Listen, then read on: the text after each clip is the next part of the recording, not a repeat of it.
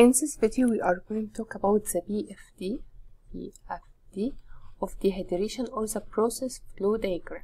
Okay, mainly what happens as a, a dehydration process is that we have a contactor or absorber. This is a column, so this is an absorber, or sometimes we call it contactor. Contactor. Okay, at the bottom we enter the natural gas or in this case it will be called a wet gas because it includes water vapor. And from the top we we will have here lean glycol. We talked about the concept of lean which is means clean or doesn't have any water vapor. So we have here our lean glycol. The lean glycol will move down and the wet gas will move up. And here you will have a contact where um, the absorption process happen okay? Or the dehydration. After that the wet gas will be a dry gas because the glycol will take all the water vapor from it or most of it okay? And our lean glycol will exit from here as a rich glycol or the glycol with water vapor okay? After that this glycol will be fed to a regenerator regenerator. At the regenerator we apply heat heat. So at the bottom you most of the time you will have here a reboiler. The reboiler is to increase the temperature okay? So most of the time it's a heater. The heat added here will force the rich glycol okay? So we'll have a rich glycol here to remove the water vapor from it. So here you will have the water vapor separated water vapor separated from the glycol. And the glycol will be fed again to the absorber here. Okay. So this is a general idea about um, the PFD of um, the dehydration here we remove the water vapor by a lean glycol and it exits as a rich glycol. Here, we, this is the reverse process. We apply heat. Uh, by applying the heat, you are stripping removing water vapor from the rich glycol and you have a lean glycol. Okay, let's have a look at uh, the PFD in another form.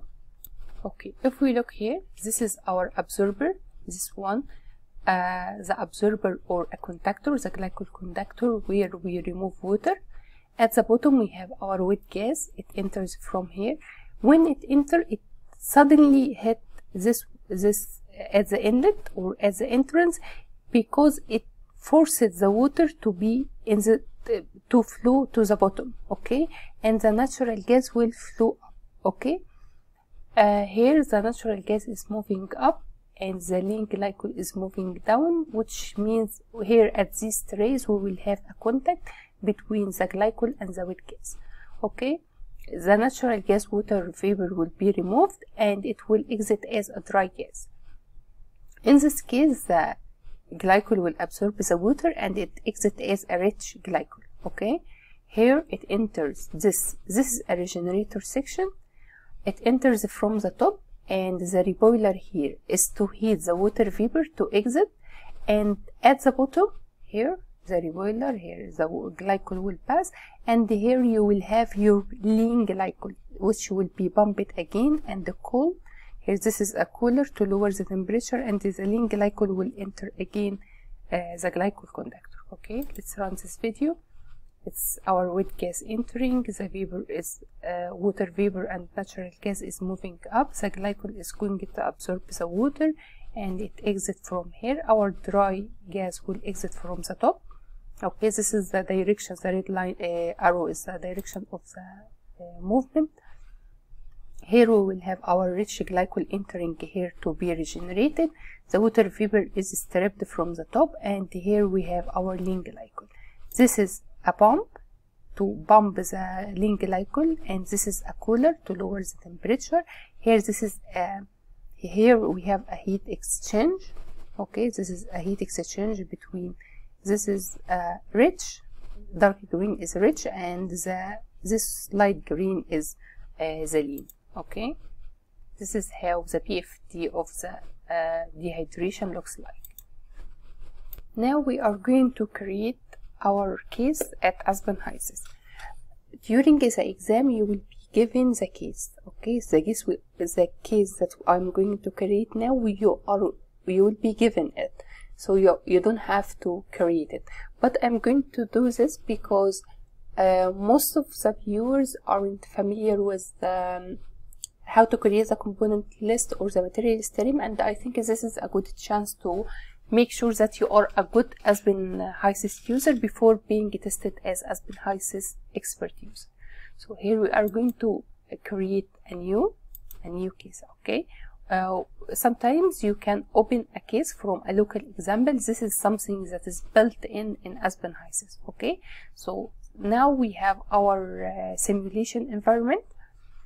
Before starting anything, it's required to add a fluid package and a component list okay so at the beginning we are going to add our component list. In this case i'm going to tell you what is our component list. First we need to add nitrogen in order okay? It's recommended uh, to add it in order because after that we are going to add numbers. So you you should follow me with the numbers okay?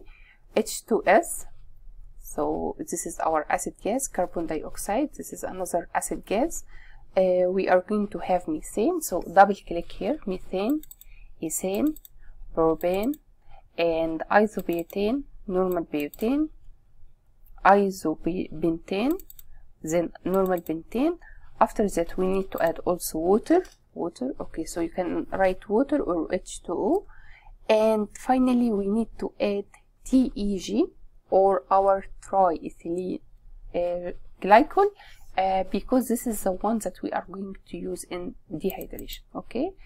So now our component list is done. After that we are going to uh, go to fluid package. Most of the time as as Aspen user you add and most of the time you add benzene but in this case you have glycol so in this case we are going to look uh, to the one that works with glycols. Okay if you don't know you can use the method assistant. It help you to find the best uh, fluid package to use. But here we have uh, one related to glycol called glycol package. Okay this one to, be added you must have a glycols added to the component list which already we have done.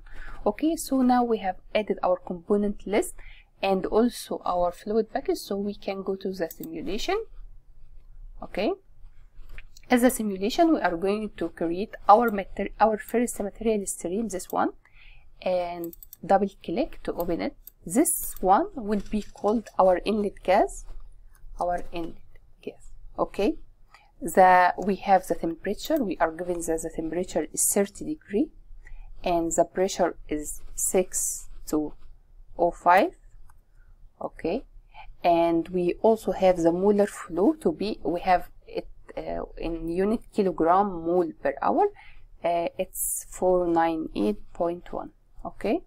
So now we have added uh, these conditions. You still have unknown composition. So now we are going to enter the composition from the worksheet. Go to the composition. And as the nitrogen we are going to have 001 okay. After that this screen will open so you are going to add the composition and as a total must be equal 1 okay? So 0 1 5 5 0 2 8 4 0 8 9 8 9 0 3 10 okay? After that we have 0 0.148 following this 0059 003 001 triple zeros 5 and the 0 and finally 0 okay? So the total here equal to 1 okay? Now we have our material stream uh, uh, uh, status is okay because it's well defined. Okay after that, we are go going to add another material stream. This material stream will be related to the TEG. Okay, so we are going to feed the TEG separately, not we not injected with uh, the material stream so we have the TEG feed or triethylene glycol this is our inhibitor we are going to feed it at a temperature of 50 and the, at the same pressure it's 6205 kilopascal and the standard ideal liquid volume flow we have this value okay to be for 0.4543 okay meter square per uh, meter cube per hour okay. And the composition we have the composition here we have for water to 0.01 okay and for the glycol to be 0.99 okay so the total here is 1 so we have the composition and our material stream is good. Okay. Um, what else? Uh, here we need to edit something is that here this is a mass fraction not a mole fraction. Okay. So after adding this now here we are going to enter the values again 0.1 and 0.99 okay and okay. Sometimes you have a mass fraction or a mole fraction just be careful with the data given.